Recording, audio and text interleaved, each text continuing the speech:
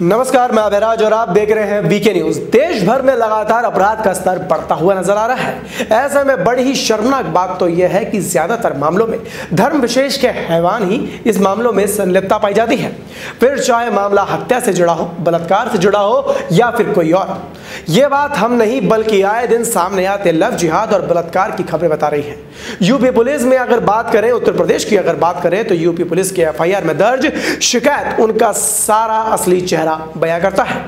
जिसमें हैवान ना तो नाबालिग बच्चियों को बख्श रहे हैं और ना ही उम्र दराज महिलाओं को। इस बीच एक और ऐसी ही दिल को दहला कर रख देने वाली खबर सामने आई है, जिसमें उत्तर प्रदेश के अमेठी ज़िले में एक किशोरी को किडनैप करके पाँच दिन तक कैद में रखकर उसके साथ इंसानियत की तार तार करते हुए सारी हदों को पार करते हुए दुष्कर्म किया गया। तो वही घटना के पाँच दिन बाद युवती किसी तरह से वहाँ से चाँद बचाकर जब भाग निकली, इसके बाद पीड़िता के परिजनों को उसने थाने ले जाकर सारी बात बताई और अपनी आप बीती उनको परिचित कराया, जिसके बाद नामजद तहरीर दर्ज कराई गई। बता दें कि आरोपी युवक की पहचान रवि उर्फ़ रफी मोहम्मद के तौर पर हुई है। आइए अब आपको पूरे मामले से रूबरू कराते हैं। दरअसल मिली जानकारी के मुताबिक शहर स्थित एक मोहल्ले के रहने वाली किशोर पाँच दिन पहले रात में अपने घर के पास लगे हैंडपंप से पानी भरने गई थी।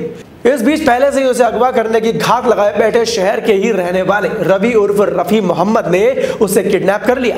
किशोरी के गायब होने के बाद घर वालों ने उसकी खूब तलाश शुरू की, लेकिन उसका कुछ पता नहीं चल पाया, जिसके ठीक पाँच दिन बाद देर रात को वो किशोरी घर वापस लौट आई। लेकिन उसने पूरी आप बीती उस दौरान जब अपने घर वालों को बताई तो वो जानकर तंग रह गए और वो खून के आँसू रोने लगे। किशोरी ने बताया कि रवि ने पाँच दिन तक उसके साथ दुष्कर्म किया और इंसानियत की सारी हदों को पार कर दिया।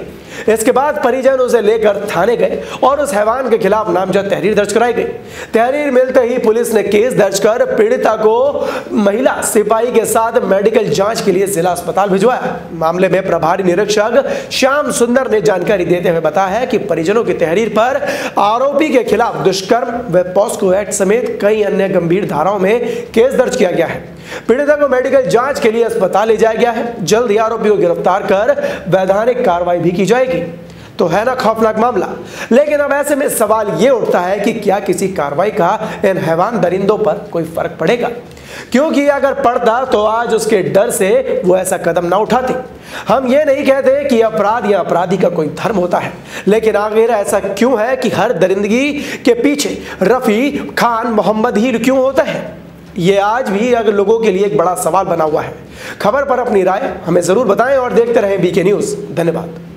Thank you.